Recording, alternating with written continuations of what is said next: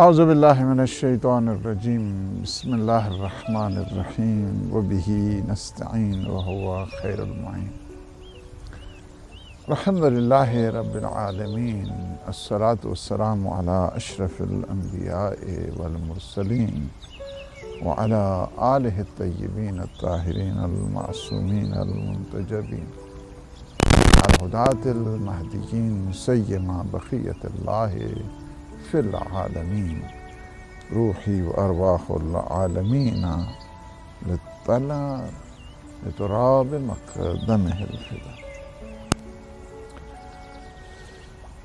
ماہ مبارک رجب المرجب ہے اور بہت ہی زیادہ حرمت والا مہینہ ہے۔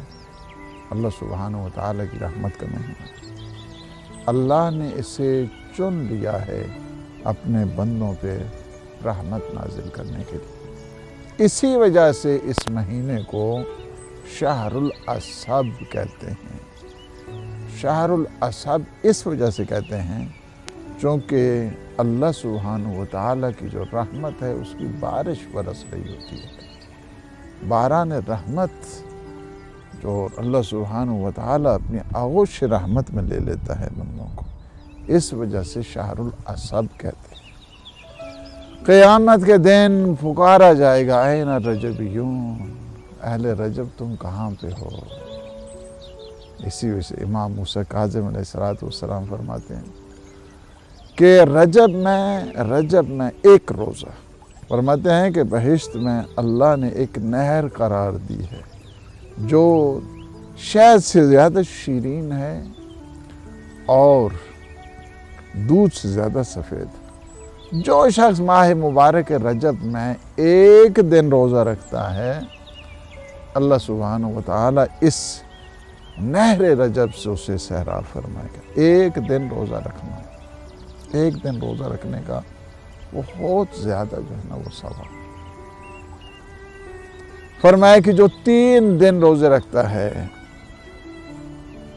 جی جمعرات جمعہ اور ہفتہ، اگر کوئی تین دن روزے رکھے اس ماہ رجب میں ماہ رجب المرجب میں اگر کوئی تین دن روزے رکھتا ہے تو فرمایا کہ اللہ اس سے نو سو سال کی عبادت کا ثواب دیتا ہے۔ صدقہ بہت زیادہ مستحب ہے، صدقہ دینا اس ماہ رجب میں۔ بیماریوں، لاچاریوں سے بچنے کا ایک بہترین راز اس ماہ رجب میں انسان دعا کرے، صدقہ دے اور استغفار استغفر اللہ و اتوب الیہ۔ سیونٹی ٹائمز ہر روز استغفار کرنا بہت زیادہ اس کا ثواب ہے اور ریکمینڈڈ ہے اور تاکید کی گئی ہے کہ ایوری ڈے سیونٹی ٹائم استغفار استغفر اللہ و اتوب الیہ۔ یعنی میں اللہ سے مغفرت طلب کرتا ہوں اور میں اس کی بارگاہ میں پلٹ کے جاتا ہوں۔ مغفرت طلب کرنا اس مہینے دیکھیں، اس مہینے کی بہت زیادہ دعائیں ہیں، عبادات ہیں لیلت الرغائب ہے۔ اس مہینے میں ہمیں یاد ہے کہ جب ہم لوگ قم میں ہوتے تھے، تین دن اعتکاف بیٹھا کرتے تھے۔ مسجد امام حسن عسکری علیہ السلام جہاں پہ میں، بلکہ اپنے جو سنٹرز ہیں، جہاں جمعہ ہو رہا ہے اور وہاں پہ ان کے ہاں اہتمام بھی ہے تو میں ان سے کہوں گا کہ جوانوں کو تین دن جو بارہ، تیرہ اور چودہ تک ہے، یہ جو ایام بیز ہیں، ان میں انہیں اعتکاف کی جو سنت ہے، اس کو احیاء ہونے کی ضرورت ہے۔ ایک بہت بڑا فرمایا کہ ایک عمرہ کا آپ کو ثواب ملتا ہے۔ اس وقت آپ دیکھ رہے ہیں کہ جبکہ چاروں طرف سے بیماریوں کو ہجوم ہے، تو اس سلسلے میں عمرے پہ تو لوگ جا نہیں سکتے۔ عبادت پروردگار ہو، یہ اپرچونٹی آپ کو نو اس ماہ رجب میں اللہ سبحانہ و تعالی نے عطا فرمائی ہے۔ اس میں ضرور جن کے ہاں یہ اہتمام ہے، ضرور اس میں شامل ہوں اور اعتکاف بیٹھے۔ ایک اعتکاف جو تین دن ہے، تین دن کا ایٹ لیسٹ جو ہے نا اعتکاف ہوا کرتا ہے، اس کا ثواب کیا ہے؟ ایک عمرہ کا ثواب انسان کو ملتا ہے۔ پھر اس مہینے میں یہ بھی خاص قسم کی تاکید ہے کہ جو چاہتا ہے کہ اس کی حضرت اسرائیل سے فرینڈشپ ہو اور اس کی روح بڑی آسانی کے ساتھ قبض ہو، تو اسے چاہیے کہ جو آخری اشرہ ہے بائیس، تیئیس، چوبیس، یہ جو تین روزے ہیں، اس میں ضرور وہ روزہ رکھے روزہ رکھے، روزہ رکھنے کا بہت زیادہ تاکید کی گئی ہے۔ جس طرح عرض کیا کہ جس طرح معصوم فرماتے ہیں کہ تین دن جب تم روزہ رکھتے ہو تو اللہ سبحانہ و تعالی آپ کو کیا ہے؟ نو سو سال کی عبادت کا ثواب دیتے ہیں نو سو سال۔ خوش حال کے جنہیں بعض میں جانتا ہوں کہ جن کی ماہ رجب، ماہ شابان کنٹینیوس جو ہے نا وہ چلتے ہیں، جن کے روزے۔ اور یہ بہت بڑا اجر ہے۔ اور ماہ رجب میں جو روزہ ہے سو ریکمینڈ اسی طرح میں یہ عرض کروں گا کہ ماہ رجب میں ایک دعا کہ جو ہمیں ہر واجب نماز کے بعد جو ہے نا مستحب قرار دی گئی ہے۔ معصومین علیہ السلام نے جس کی بہت زیادہ تاکید کی گئی ہے، یا من ارجوہ لکل خیر و آمن سخطہ عند کل شر، یا من یعطی الکثیر بالقلیل، یا من یعطی من سألا یا من یعطی من لم یسألہ و من لم یعرفہ۔ تحننا منه ورحمة. أعطني بمسألتي إياك. جميع خير الدنيا وجميع خير الآخرة. واصرف عني بمسألتي إياك. جميع شر الدنيا وشر الآخرة. فإنه غير منقوص ما أعطيت وزدني من فضلك يا كريم. يا ذا الجلال والإكرام. يا ذا النعماء والجود. يا ذا المن والطول. حرم شيبتي على النار. اس کا جو ترجمہ ہے یعنی یا من ارجوہ لکل خیر، اے وہ ذات جس سے ہر بلائی کی امید ہے، وہاں پہ کسی قسم کا کوئی شر نہیں ہوتا۔ وہ ذات ایسی ہے کہ جہاں پہ خیر ہی خیر۔ وہ آمن و سخت کل اور ہر برائی کے وقت اس کے غضب سے جو ہے نا انسان کو امان ملتی ہے، وہ پروردگار ہے۔ یا میں یوت الکثیر بالقلیل اے وہ ذات جو تھوڑے عمل پر زیادہ اجر عنایت فرمایا کرتا ہے۔ یا میں یوتی من سعلا اے وہ ذات جو ہر سوال کرنے والے کو عطا کرتی ہے۔ وہ ایسا پروردگار ہے۔ یا میں یوتی من لم یسألہ، بعض ہیں کہ وہ سوال نہیں کرتے ہیں، خبر ہی نہیں رکھتے ہیں۔ وہ انہیں بھی عطا کرتا ہے جو سوال نہیں کرتے ہیں۔ ومن لم يعرفه، اور کتنے لوگ ہیں کہ جسے پہچانتے تک نہیں ہیں، جانتے تک نہیں ہیں، انہیں بھی وہ عطا کرتا ہے۔ تحننا منہ ورحمہ بلکہ اپنے رحم و رحم و کرم کے صدقے میں انہیں عطا کرتا ہے۔ پھر آدمی بندے خدا بارگاہ پروردگار میں التجا کرتے آتنی بے مسئلتی ایاد بس میرے لیے بھی پروردگار میرے بھی، مجھے بھی اس دنیا و آخرت میں تو عطا فرما، اپنی خیر عطا فرما، اپنی بلائی عطا فرما۔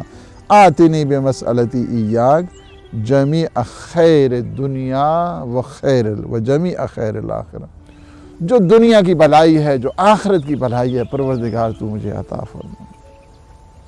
وصرف انی بے مسئلتی اور میرے اللہ، تو مجھے دنیا اور آخرت کی جو زحمتیں ہیں، تکلیفیں ہیں مشکلیں ہیں، تو مجھ سے شر ہے، اس سب کو جو ہے نا وہ دور فرما۔ وصرف انی بے مسلتی ایاد جمیع شر دنیا و شر الاخرہ دنیا اور آخرت کو جو شر ہے، تو مجھ سے دور فرما۔ اس وقت کس قدر کی کتنی بیماریاں ہیں، کتنی مشکلیں ہیں۔ بالخصوص اس وقت جو مختلف قسم کی امراض جو پوری دنیا میں اس وقت گھیرے ہوئے ہیں۔ چالیس سے زیادہ ممالک میں یہ کرونا وائرس جیسی موزی امراض اور منحوس امراض آ چکی ہیں، ان کے لیے دعا کریں وصرف انی اپنے لیے بھی دعا کریں، اپنے مومنین کے لیے بھی دعا کریں کہ وصرف انی بے مسئلتی ایاک جمی اشر دنیا، ہر قسم کی تکلیفیں، آفتیں، مصیبتیں، بیماریاں، لاچاریاں دنیا کی ہیں، آخرت کی ہیں۔ یا اللہ تو مجھے ان سے محفوظ فرما،